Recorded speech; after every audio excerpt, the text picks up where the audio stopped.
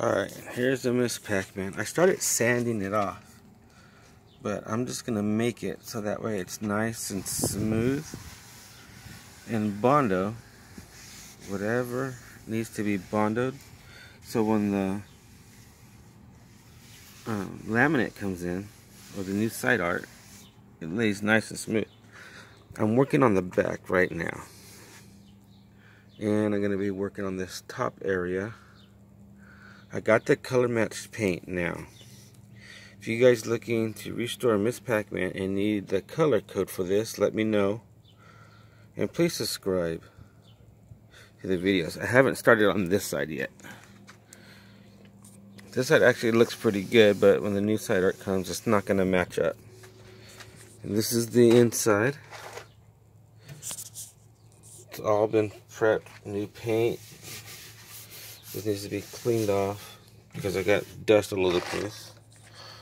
I just painted the edges there. And the paint's coming down there and down there. I gotta take this door off. I need another door. This one's like really junky. But if I find another one, I'm gonna replace it. You see where there's a bunch of chips and stuff inside of it. But I could clean it up, make it look as presentable as possible. So I'm not going to be sanding this side. I'm going to do one side at a time in this back area. Now you can see where I had to do a little bit of Bondo work right here.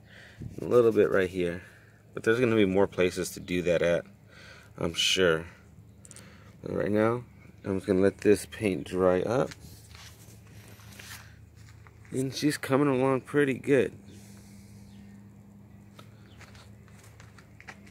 This is going to look really nice when the artwork comes in. I ordered it, and I said it should be here in about three or four days. But then when I looked on his eBay account, it says that he'll be away until the 30th. So I'm not liking that too much. But I have to wait, I have to wait. There's nothing you can do about it. This is the inside of the floor. I just rebuilt all this in the previous video, but I'm gonna give you guys a look to see what it looks like and how nice and perfect it came out. You see that? It looks really, really good in there. Here's the board. I'm having a small issue is I get a loud hum, but when I wiggle this, it stops. But there's a joint right here, a solder Come on, focus in. There we go. That looks kind of bad, and I believe that could be the culprit. So I'm gonna put new solder on that, and that'll be like on a later video. But overall, this board looks really, really nice. Everything's all hooked up.